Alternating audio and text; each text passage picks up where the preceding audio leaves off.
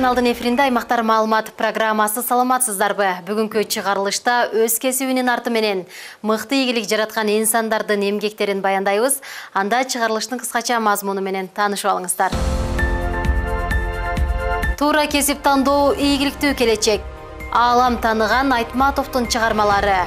Таласта төө бурчактын жаңы үрөөнү 950 сомдон сатылууда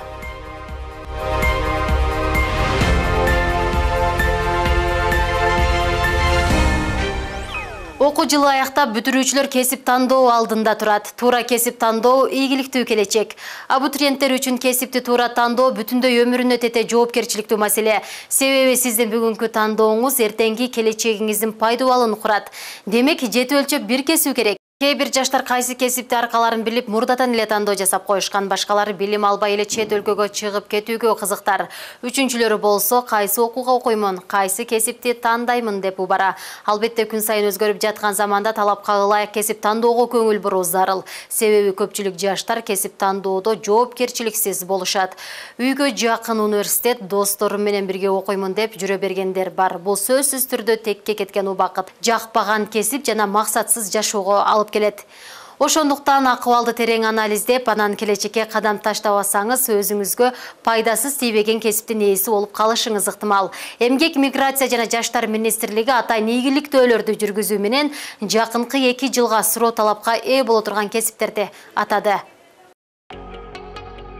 Жакынкы эки жылда төмөнкү кесиптин ээлерине жумуш табуу кыйла жеңил болот. Тигүүчү сатуучу автослесарь агроном официант ветеринар ширетүүчү куруучу геолог жардыргыч жарнама боюнча агент механик электромонтер байкасаңыздар жакынкы келечекте мактанып айткым келген. Жогорку окуу жайлардагы факультеттерге караганда жөнөкөй кесиптик техникалык билимди талап кылган кесиптер көбүрөөк керек болуп турат министрлик берген маалыматка таянсак эмгек рыногунда жогорку билимди талап кылган жумуш орундары жыйырма пайызды түзсө жетимиш пайыздан ашуун жумуш ордуларына кесиптик техникалык билим талап кылынат ар кандай мамлекеттик эмес уюмдар да кайсы кесипке суроо талап күчтүү болоорун изилдеп келишет алардын иликтөөлөрүнүн жыйынтыктары боюнча эки миң он бешинчи жылдан эки миң жыйырма үчүнчү жылга чейин айыл чарба туризм жеңил өнөр жай энергетика саламаттыкты сактоо билим берүү жана котормочулук тармактарындагы адистерге суроо талап жогору болот бирок өзүбүз күбө болуп тургандай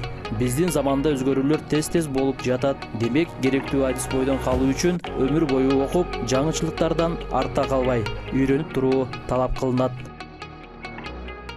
өмүрүбүздүн үчтөн бир бөлүгүн иштеген жумушта өткөрөбүз. Тактап айтканда тандап алган кесип менен алек болобуз. Андыктан эл эмне дейт? Жогорку окууну бүтүшүм керек деген максатта эмес. Жаккан кесипке ээ болууну максат кылыш керек деген принципти тутунган алмаз уразбеков бар. Ал кесип тандоодо эң биринчи кызыгуу жөндө маанилүү экенин айтат. Биздин бүгүнкү каарманыбыз номер токсон төртүнчү кесиптик лицейдин студенти. Анын сабагы күн сайын эртең менен сегизде башталат тандап алган кесиби жүрөгүнө жаккандыктан ар бир айтылган сөздү кунт коюу менен угуп ар бир тапшырманы берилүү менен аткарат. Бирок артын астын артты көздөй тарап алып турсуң э? Кургатып эми капталдарын кыркып баштайбыз э машинкаңды ал. Алмаз уразбеков чач тараштык кесипти тандап алганга чейин да бир нече окуу жайга тапшырган. Бирок ал кесиптерден өз келечегин көрбөгөндүктөн окуусун таштап азыр окуп жаткан жерге келет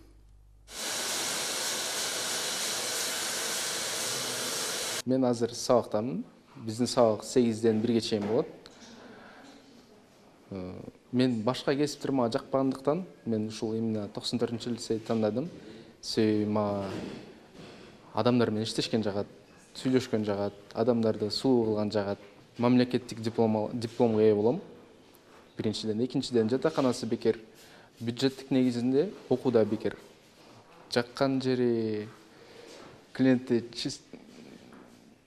клиентти сулуу кылып атканда клиенттер чебей калтырат ошол жери да жагат ошо чийби берген сайын улам улам жакшы кылган аракет кыласың да жакшы алганга аракет кыласың иногда болот настроенияң да түшүрүп кетет жаман жактары настроенияң түшүрүп кетет жакшы настроение менен баштайын дегенде ушинтип настроениең түшүрсө бир раз бир раз эме болосуң эми теория жана практикалык сабагында биз машинка кармаганды үйрөнөбүз кантип элементарно кантип суу чачканды үйрөнөбүз элементарно кантип башты жууганды үйрөнөбүз окантовканы кантип чийиш керек ошо ошолор менен. Бул бул өзү адамдын өзүнөн зависит этет өзү кызыгуу болсо адам любой жерде алып кетсе болот деп ойлойм да.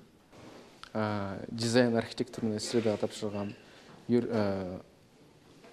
юриспруденцияга тапшыргам бирок окугөндө тең бир аз көзүм жеткен жок. Анан ушул жака келдим. Себеби мага адамдар менен иштешкен жагат. Каарманыбыз окуп жаткан бул окуу жайда чач тараштыктан сырткары да керектүү болгон бир нече кесиптер бар окуу мөөнөтү он айга чейин созулуп ийгиликтүү аяктаган соң дипломдор берилет. Ошондой эле дубалдык жана күндүзгү болуп экиге бөлүнөт. Дубалдык окууда студенттер эки айлык окуудан кийин эле практикага чыгып иштей башташат. Күндүзгү бөлүмдө жети ай теориялык сабактардан соң үч айлык практикага чыгышат аталган кесипти көбүнчө айымдар аркалап келет. Бирок бул нерсеге каарманыбыз көп маани бербейт. Себеби жүрөгүнө жаккан кесип сөзсүз түрдө ийгилик жаратат. Болгону сүйгөн кесибиңди гана тандап алыш керек дейт.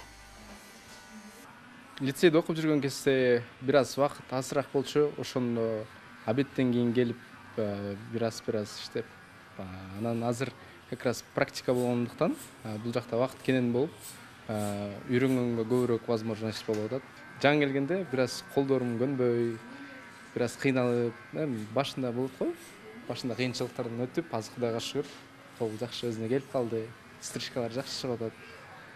Өзүмө болгон уверенность еще больше көбөйүп атат. Буюрса окууну бүткөндөн кийин кол дагы жакшы көнгөндөн кийин буюрса өзүм салон ачканга ниетим бар. Салон ачып расширяться этет экенбиз көбүрөөк салондорду ачып өзүмдүн фамилиямды күчөйткүм атат пайдалуу кызыктуу жана ар дайым актуалдуу болгон бул кесипке суроо талап жогору ошондуктан тандап алган кесибинен ийгилик жаратаарына каарманыбыз абдан ишенет коомдо эң пайдалуу кесиптердин саппашында бул дарыгерлик адиси турат. Учурда бул кесипке суроо талапы жогору. Элдин саламаттыгына кам көрүүнү бала кезинен кыялданган диларам жоошова өз учурунда өзү сүйгөн дарыгерлик адисине окуп анын арты менен чоң ийгиликтерге жетишкен. Айтсак медицина тармагында дээрлик кырк жылга жакын убакыттан бери иштеп бул кесиптин ысык суугуна да чыдап биринчи орунга элдин саламаттыгын койгон каарманыбыз талыкпаган эмгегинин арты менен бир катар сыйлыктарга татыган ошондой эле өзү жашаган алыскы баткен облусунун жаратылышы өзгөчө кооз кароол айылына жеке менчик медицина борборун түптөгөн. Бул мед клиника тоо борунда жайгашып салкын абасы таза суусу менен туристтерди өзүнө тартып турат. Тоолуу аймактагы мед айымдын ишмердүүлүгү тууралуу аймактык кабарчыбыз айтып берет. Кайериңиз ооруп атат? Менин ооруганым ушул давление бар диларам жоошова кырк жылдан ашуун убакыттан бери медицина тармагында иштеп калктын саламаттыгына кам көрүп келет каарманыбыз буга чейин мамлекеттик ооруканада эмгектенип анда бейтаптарды дарылоо менен бирге шакирттерди да кошо тарбиялаган. Диларам айымдын бул саламаттыкты сактоо тармагына кошкон зор эмгеги бааланып бир нече мамлекеттик даражадагы сыйлыктарга татыган. Аракетчил жана мээнеткеч каарманыбыз учурда жеке менчик ак суура медицина борборун түптөп аны иштетип келүүдө. Ал бул аракети менен элеттиктердин ден соолугуна кам көрүү менен бирге айыл жеринде жаңы жумуш орундарын түзө алды. Бул жерде азыр иштегендер медцентр частный болгону менен аракет кылып атабыз ушул жаштар иштеп пенсияга чыкканга дагы мүмкүнчүлүгү боло турган кылып соцфонд менен сүйлөшүп трудовойлорго жазып ошого турлап основной жаштар келип иштейт экен буларга пенсияга чыгыш керек. Ошого да турлап атабыз анан элдерге жаш балдар да көп ооруйт именно кечинде түндө ысытмалап судороги бергендер да болот судороги берген баланы каякка алып бара аласың түндө коркуп кетет экен родительдер. Коркот экен да учкурунга жеткү чейин уже баягы адам эмне болот а бул айылга керек ушундай бияктан уколду алышат кетишет же болбосо врачтар биз өзүбүз барабыз чакырат үйүнө жетип барабыз балдар келіңіз каарманыбыз ак суура медицина борборун иштеткенине үч жылга жакын убакыт болгон. Бул жылдар аралыгында өлкөбүздүн жети дубанынан көптөгөн жарандар келип эс алып кетишет. Акыркы жылдары чет өлкөлүк туристтер да көп келүүдө. Анткени кароолайлы дарылык касиети бар бант суусун пайдаланышат. Андан сырткары өзүнүн кооз жаратылышы таза абасы менен туристтерди өзүнө тартып турат. Мына дәріні алып тұрсаңыз жүрегіңізге қуат болады егер мындай қарағанда ауасы өте таза. Тоғы жақын салқын таза ауада сағатмен тұрғанда башқаша ауаны жұтасың. Суысы бұлақ сулардан шығады екен. Таза баяғында азыр елдің барлығы біледі бән суы именно ошо бән суынан келген суды іштетеміз. Тамаққа дағы шайға дағы дәрі қатарда ішетіледі айрықша сахарный диабетіне ауырғандарға бұл өте пайдалы су екен. Өте пайдалы. Дағы бір артықшылығы бұл бән суының артықшылығы егіздер көп. Біздің айылда егіз төреген почти көп. Көпчүлүгү балдар егиз балдары бар. Бул дагы значит немеге дагы жакшы экен да. Анализдеп отурсам таза погодабыз таза дарактардын бүт түрү бар булбулдар сайраган айтсаңар булбулдар мына азыр да сайрап атат. Бул дагы терапияга кирет да. Нервтер дем алат. Айрыкча өтө нерви чарчаган адамдарга да дарылабасаң деле жатып лечение алса да сакайып кетишет деп ойлойм да эми. Район борборунан бир топ алыс жайгашкан кароол айылында мындай медициналык борбордун ачылышы элеттиктердин бир топ түйшүгүн жеңилдеткен. Анткени жашы улуу карыялардын кан басымын кыз келиндердин төрөтүн наристелердин түрдүү ооруларын алдын алууга жана дарылоого ыкчам жана ыңгайлуу айсулуу абдилаким кызы бексултан кайратбек уулу атайын аймактар программасы үчүн баткен облусу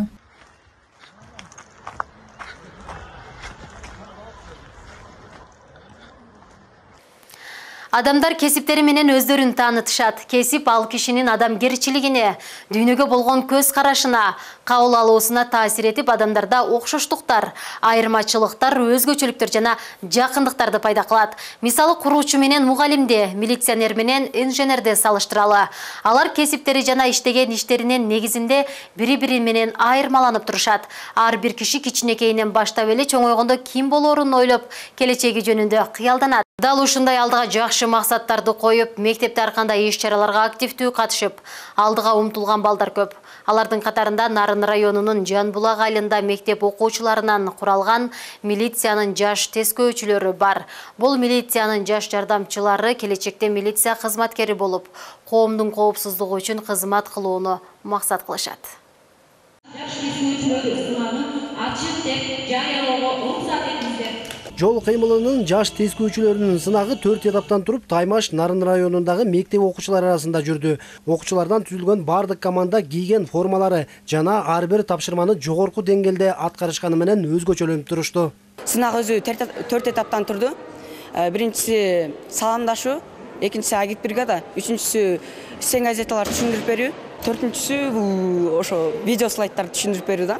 Видео слайдты түшүндүрүп бердик ал жерде деген бала эч кандай эч кандай көңүлү бурулгандыктан телефон чукулап кулагында наушниги бар музыка угуп кетип баратканына байланыштуу.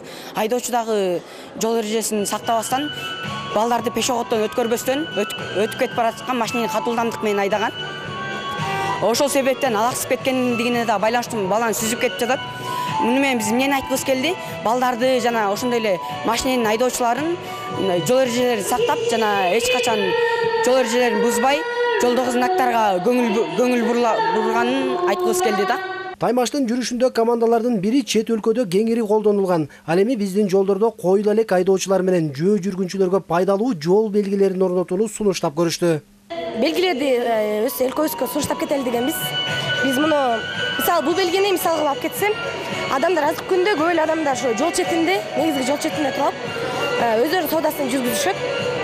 Ошону биз деген башка өлкөлөрдө бул белгиге тыюу салышкан анткени ошо адамдар соодасын жүргүзүп атканда анан адам үчүн кооптуу машинеге зыянын алып келет. Ошондуктан биз бул белгини сунуштаганбыз жалпы алты команда катышкан таймаш алгач райондук деңгээлде өткөрүлүп андан соң облустук мааниде уюштурулат. Ал жактан уткандар республикага чейин барып катышууга мүмкүнчүлүк ала алышат. Ал эми бул кароо сынактын жыйынтыгы менен эң көп балл топтогон абылкасым жудакеев атындагы орто мектебинин жаш тескөөчүлөрү жеңүүчү деп табылды. Албетте биз жол эрежесин өзүбүз деле үйрөнүп тыйын болбостон биз мектеп окуучуларына ар кандай сабактарды диспут сабактарды же кичинекей майда класстарга түшүндүрмөлөрдү берип жада калса үйүбүздөгүлөр менен дагы чогуу отуруп үйрөнөбүз бул жол эрежеси биздин кандай десем албетте баары так билиш керек. Биз гана эмес бизден улуу адамдар кичүү адамдарга дагы биз жайылтышыбыз керек деп ойлойм иш чаранын максаты жаш өспүрүмдөрдү жолдо жүрүү эрежелерин үйрөтүү жана балдардын катышуусундагы жол кырсыктарынын алдын алуу максатында өткөрүлүүдө бүгүнкү күндө нарын районунда жаш балдар арасында кылмыштуулуктун саны төмөн былтыркы жылга салыштырмалуу айтканда баардык күч аракеттерибиз ошол багытта жүргүзүп атабыз бул багытта дагы министрлик тараптан областтык ишкер башкармалык тараптан көрсөтмөлөр тескемелер келип ошолорду аткаруу үчүн ушу баардык болгон аракеттерибизди жумшап коомчулук менен мектеп администрациялары менен жалпы субъектилердин баардыгы менен биргеликте иштерди жүргүзүп жатабыз да. Мунун жыйынтыгында ошо жанагындай төмөн көрсөткүчтөргө жетишип жатабыз. Өспүрүмдөрдүн катышуусундагы жол кырсыктарын азайтууга окуучулар гана эмес чоңдор дагы жооптуу мындан улам жол эрежесин ар бир жаран так сактоону инспекторлор эскертет. Иштеймин ийгилик жаратам деген инсан үчүн ар дайым баардык мүмкүнчүлүктөр бар. Жогоруда аталган кесиптер сыяктуу эле айкелчилик адиси да өзгөчө пайдалуу кесиптердин бири. Алардын жасаган эмгектери ар дайым элдин көңүл чордонунда болот. Айтсак учурда чолпон ата шаарында чыңгыз айтматовдун чыгармаларындагы каармандарынын айкелдери жасалып президенттик паркка коюлду. Анда айкелчилердин эмгектери шаар конокторунун жана жергиликтүү тургундардын көңүл нөзүнө бурууда бул чолпон ата шаарындагы чыңгыз айтматов атындагы аллеясында жыйырма күн аралыгынан бери жазуучунун чыгармасындагы каармандардын скульптуралык экспозициясы жасалып аягына чыкты. Аталган скульптураларды жасоо долбоору чыңгыз айтматовдун токсон беш жылдыгына арналып эки миң жыйырма үчүнчү жылы демилгеленген жаз айларынын келиши менен атайын комиссиялык сынактан өтүп тандалган жыйырма скульптордун иши кызуу башталган. Э, бул симпозиумду мына азыр жыйырма жыйырма участник келип иштеп атышат ушул ар бир иштер композициялык иштер чыңгыз айтматовдун чыгармаларына арналган. Авторлордун баарыбыз эле каалар элек ушул э, парктын ичине коюлса ушул скульптура под открытым небом болот да музей под открытым небом.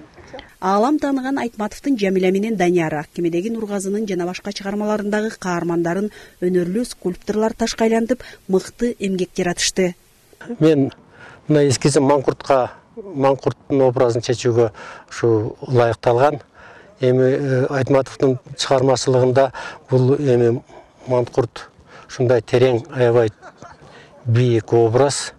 Адамзаттын өзүнүн акыл эсин жоготуп ата энесин кайрадан жигин табылбай калган нерсе жөнүндө сөз болуп атат. Ошол ошону чагылдыралы деп мындай иш аракет кылып атабыз.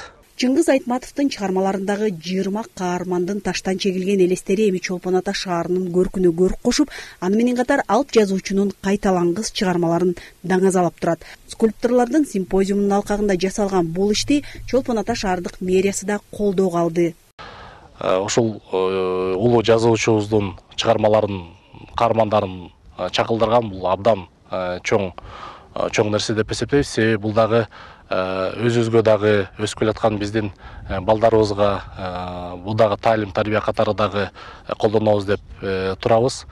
Чолпон ата шаарына келген туристтерге дагы бир жакшы жактан көрүнүштөр болот. Скульпторлордун симпозиумун кыргыз республикасынын президенти колдоого алып беш миллион акча каражатын бөлүп берген анын натыйжасында скульпторлор толук кандуу иш жүргүзүп эми көз жоосун алып образы так чагылдырылган каармандардын бул экспозициялары чолпон ата шаарындагы президенттик парктан өз ордуларын тапты. Айсель тилек кызы мадина абакирова айбек жумашев атайын аймактар программасы үчүн. Айкелчи өнөрү бир караганда өтө оор болгону менен чындыгында сыймыктуу кесип десек болот.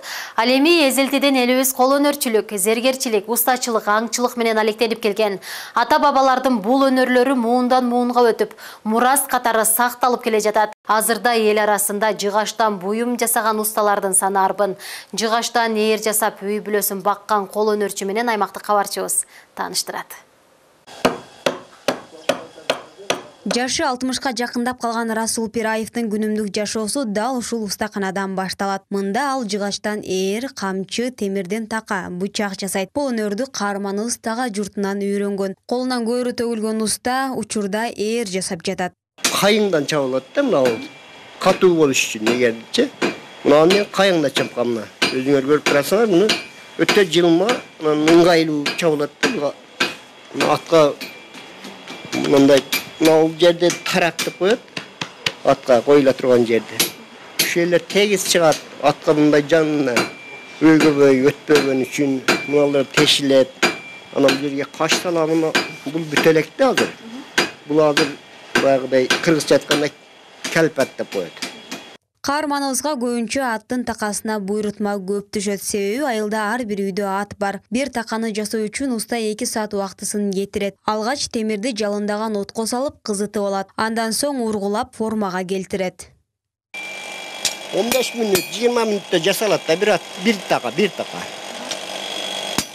Муну кызытып неме болгуча да убакыт өтөт да. Таканы урушуу деле күч керек экен да ооба күч керек да албетте мына мына кызым мыягы бүттү уже азыр бул жагын салабыз эми темир уста өнөрүн балдарына да үйрөтүп койгон буйрутма көп болгон күндөрү балдары атасына кол кабыш кылып жардам берет така мык жасагандарын үйрөнүп атабыз эми башка нерселерин дагы үйрөнүп атабыз эми Колдон келишинче да күндүк эле иш боло бербейт эми анча мынча да колубуз бошогондо кирип жасап коебуз каарманыбыз жасаган буюмдар учурда айылда гана сатылат алдыда уста район шаарларга да сатууну көздөп жатат айдана амалбек кызы адилет нышанбаев атайын аймактар үчүн көрсөтүүбүздү дыйканчылык менен алектенип анын арты менен киреше таап жаткан инсандар тууралуу баяндоо менен улантабыз. Нокен районунун бүргөндү достук айыл аймагында дыйкандар кызуу иштеп жатышат. Анткени облуста гана эмес республика боюнча да биринчи түшүм ушул аймактан башталат. Учурда жазгы кулпунайлар бышып дыйкандар эң алгачкы түшүмүн алып жатышат. Кыргызстанда анын түштүгүндө биринчи жолу кулпунай бышты деп айтууга болот негизи мындай кулпунайлар достук бүргөндүү айыл өкмөтүндө жылда ушундай апрель айларынын жыйырмасынан баштап быша баштайт улукбек жолдошов биринчи жолу элүү сотук жеринде эгилген кулпунайдын түшүмүн жыйноодо буга чейин жашыл чеккен дыйкан кулпунай кирешелүү болгондуктан тандап алганын айтат быйыл ошо кулпунай жаатында бир көрөйлү деп көрдүк быйыл биринчи жолу эгишибиз кудай кааласа жакшы түшүмү. Жерди караса жер ушу дыйканды багабы кандай деп ойлойсуз улукбек мырза мисалы жакшы эле болуптур эми ооба туура эми жерди жерди багыш керек анан жер анан бизди багат да ошондой эле ойлойм жылына бул мезгил теримчилер үчүн да кирешелүү убак ак суу районунан келген адашкан эжей мейманчылыкка келгенче эле терип бир азда болсо каражат тапсамбы деген ойго келген. Кызыгып атам мен дагы чыкса болот экен да. Эми аялдарга кыздарга иш жакшы экен. Иштесе болот экен мында жалпысы онго жакын теримчи бар. Күнүмдүк мээнети миң сомдон бааланат учурда кулпунайдын биринчи терими бышып калды киреше дагы бир айга созулат жыйырма миң көчөт эгилген чакан жер эмгекти актарына дыйкан ишенет эми биз дыйкан катары эсептедик азыркы учурда биз үч жүз граммды молжолдоп атабыз. Эми үч жүз грамм берсе ошо мээнетти актап калса керек деп ойлоп атабыз. Ар бир көчөттөн бүргөндүү достук айыл аймактарында акыркы убакта жашылча эккен дыйкандар кирешелүү деп кулпунайды эгүүгө жапырт колго алышты. Казакстан россиядан келген кардарлар тала четинен эле сортуна жараша сапатына карап алып кетишет. Азыркы баа эки жүз элүү сомдон үч жүз сомго чейин болууда. Гүлжина мөндөгө жанызак нурдавлет уулу аймактар алакасы үчүн жалал абад облусу жалал абаддык дыйкандар жазгы биринчи түшүмүн алып жатса талас аймагынын дыйкандары төө бурчактан мол түшүм алуу аракетинде. Анткени чет өлкөдөн жаңы үрөөн келген учурда аны алуучулардын саны арбын. Себеби чанактуу өсүмдүктүн үрөөнүн жаңыртып мол түшүм алууну дыйкандар максат кылышууда. Жеке ишкердин демилгеси менен облуска жети тонна үрөөн келип учурда сатыкка чыкты. Бул жаңы үрөөн тогуз жүз элүү сомдон сатылууда бул хелда сортундагы төө бурчактын уругу чет өлкөдөн келди ишкер улан тазабеков таластагы төө бурчактын үрөнүн жаңыртууну эки жылдан бери колго алып алгач сыноо катары өткөн жылы өзү чанактуу өсүмдүктү тигип көргөн түшүм жакшы болуп кеткен чыгымакталып ишкер пайда тапса болот деген жыйынтыкка келген. Биз былтыр ушу хелда сортундагы франциядан алып келген беш жүз килограммдык урук ушу түрткү болду да биз көрдүк бул бүгүнкү күндө биздин алдагы лопатка сортубуз урук эскиргенден бул кандай кылып ошол лопатканы ээлейсиңби же жакшысын алып келесиңби бул эч качан жыйынтык бербейт только буну жаңыртыш керек урукту ошол себептен супер элитаны биз эксперимент кылгандан кийин экспериментибиз жакшы ийгиликтүү өттү анан быйыл дагы көбөйтөлү деп чечкенбиз өзүбүз жеке биз жер алып ушу компания делик тилекке каршы жерлердин баардыгы бүгүнкү күндө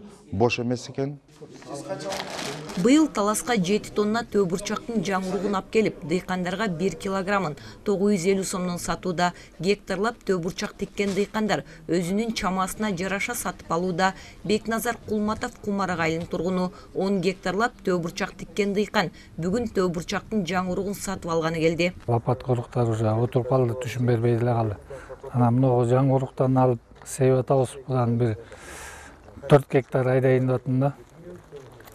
Бул биринчи репродукция болуп түшүмдүүлүгү өйдө өтө жогору болот деп атпайбы.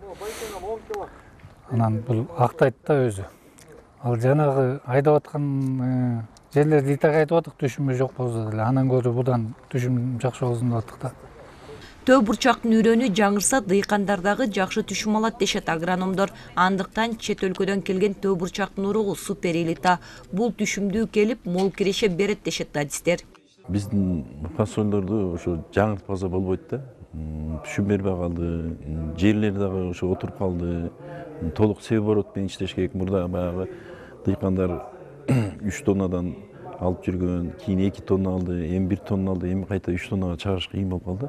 Ошондуктан эң биринчи үрөн семеновство менен займатыш керек. Анан жерди котоштуруу себоорот агротехникалык колдонуу анан суу маселеси да ар кандай болуп атпайбы бирөө көп сугарат эме кылат жердин кырчыктарын биз агызып жиберип атабыз. Ошого капельный орошение колдонуу кийин кандай шарттарды кандай современный ушу агротехниканын ошо европадан үйрөнүп ошо дыйкандарга көрсөткөн жатабыз да хелда сортундагы төө бурчактын уругун дыйкандарга жайылтууну жергиликтүү бийлик дагы жакшы колдоого алууда. Анткени акыркы отуз жылда таластын төө бурчагынын уругу жаңыртылган эмес келген урукту мына эки күн болду. Бүгүнкү кезде мына биз өзүбүздүн райондо бөлүнгөн эки тонна урукту аким менен макулдашып ар бир айыл өкмөттөргө бөлдүк ошонун негизинде азыр дыйкандар уруктарды алышып атыр эми бул уруктун менин оюмча келечеги кудай буюрса кең болот болуш керек. Анткени себеби мына отуз жылдан бери биз фасоль айдап атып мына биринчи жолу мына урук жаңыртып атырбыз ал эми бул төө бурчактын уругу килограммы сегиз жүз сомдон сатылууда. Бул бурчактар дагы өткөн жылы чет өлкөдөн алып келген. Таластагы айрым дыйкандар тигип мол киреше алган. Жаңы үрөн кымбат сатылат дешет адистер анткени санга эмес сапатка өтүү учурдун талабы. Бегайым асымбаева чыңгыз бокошов. Аймактар берүүсү үчүн урматтуу теле көрүүчүлөр сиздер аймактар маалымат программасынын бүгүнкү чыгарылышына күбө болдуңуздар. Көрсөтүүнү мен асылкан махамат кызы алып бардым. Кийинки берүүлөрдөн амандашканча саламатта туруңуздар.